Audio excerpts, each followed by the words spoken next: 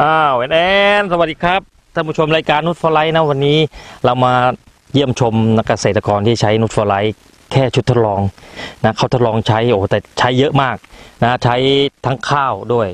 นะครับ แล้วก็ข้าวโพด อันนี้เป็นพืชไร่นะพืชไร่ข้าวโพดสวยงามมากนะ วิกฤตนะภัยแล้งนะเกษตรกรก็เป็นกังวลนะครับ เรื่องข้าวโพด อันนี้นุชฟอร์ไลท์นะแก้ไขปัญหาได้ ไม่ว่าจะเป็นต้นไม่ว่าจะเป็นฝักนะครับออกดกมากนะแล้วก็สุดเม็ดมันสุดเม็ดยังไง แล้วใครทำแล้วทำที่ไหนนะติดตามผมมานะฮะนั่นเกษตรกรอยู่ที่นั่นนะฮะมาเลยครับ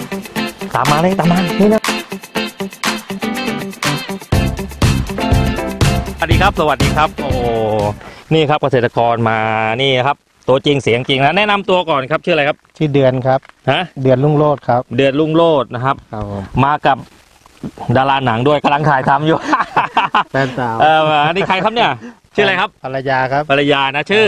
สุรินทร์ครับปีตุลินนะอันนี้ก็คือเจ้าของแปลงนี้ อันนี้อยู่ที่ไหนครับเนี่ยที่ที่ที่เราอ๋อพื้นที่ของเอ่อไร่ข้าวโพดจิกเสือเต้นหมู่สี่ครับกิจเต้นหมูซีครับผมอำเภอทับคออำเภอทับคอ จังหวัดพิจิตรครับ จังหวัดพิจิตรนะจังหวัดเดียวกันนะฮะครับผม นี่จังหวัดพิจิตรก็มีอ่า เกษตรกรที่ใช้นูตฟลายเยอะแยะมากมายนะ อันนี้ก็คือเป็นอีกอีกเคสหนึ่งนะครับที่ใช้สินค้านูตฟลายนะมันเอ่อที่เอามาใช้นี่ใช้ตั้งแต่เริ่มแรกหรือเปล่าหรือว่าเริ่ม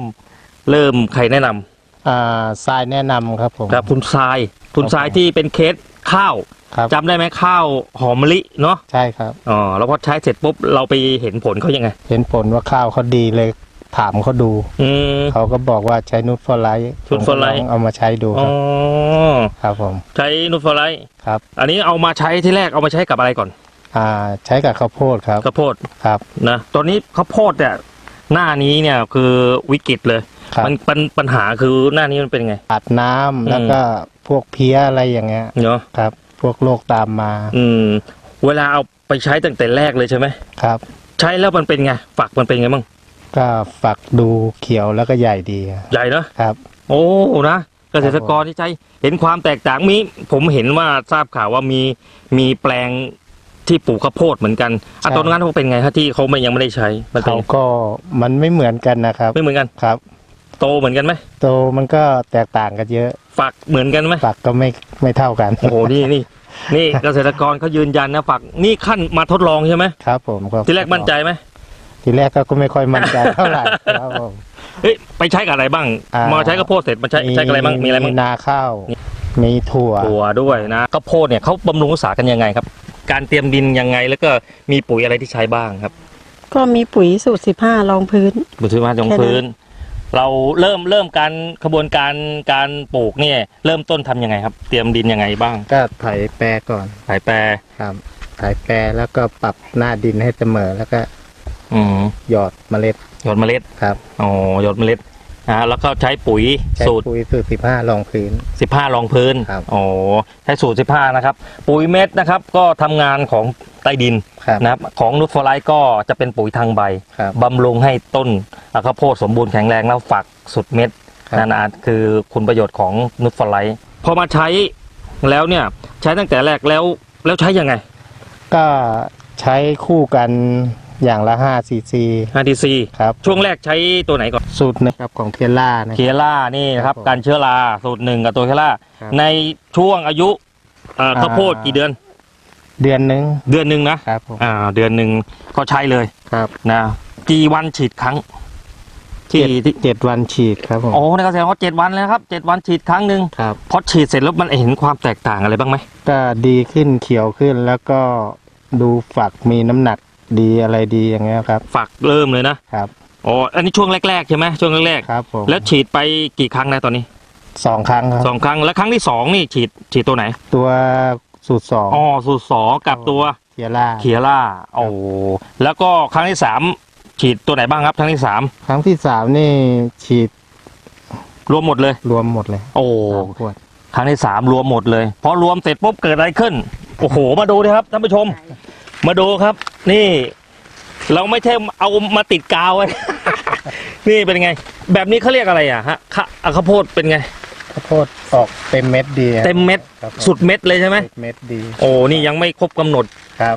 ข้าวโพดนี่กำหนดของการเก็บเกี่ยวนี่กี่เดือนครับสี่สี่ยี่สิบวันร้อยยี่สิบวัน ร้อยยี่สิบวันครับผม โอ้แบบนี้นี่ดีไหมดีครับ ดีเนาะครับ ไม่ดูแล้วหน้าแรงอย่างนี้แล้วดีทั้งพื้นนี่ ประทับใจไหมครับ ก็ประทับใจประทับใจนะ ครับผมเห็นทราบข่าวว่ารู้จักกับนุชฟลายช้าไปนิดนึงเกิดอะไรขึ้นครับ เกิดอะไรขึ้นก็ถ้าเกิดว่าไงฮะไม่รู้ว่าคือตอนแรกผมทำทีแรกอะถ้าอืมผมใช้นุชฟลายแต่ทีแรกมันก็คงจะได้ผลผลิตดีกว่านี้ครับ แสดงว่าครั้งหน้าเนี่ยก็คือเต็มเม็ดเต็มหน่วยแน่นอนใช่เกษตรกรที่ใช้สินค้าเกี่ยวกับข้าวโพดเนี่ยข้าวโพดนะครับ ก็มีความประทับใจแบบนี้แล้วอ่า ถ้าเกิดเกษตรกรที่เอ่อสนใจที่จะใช้กับข้าวโพด นี่ข้าวโพดพันธุ์อะไรคะเนี่ยพันห้าห้าเก้าห้าห้าเก้าครับ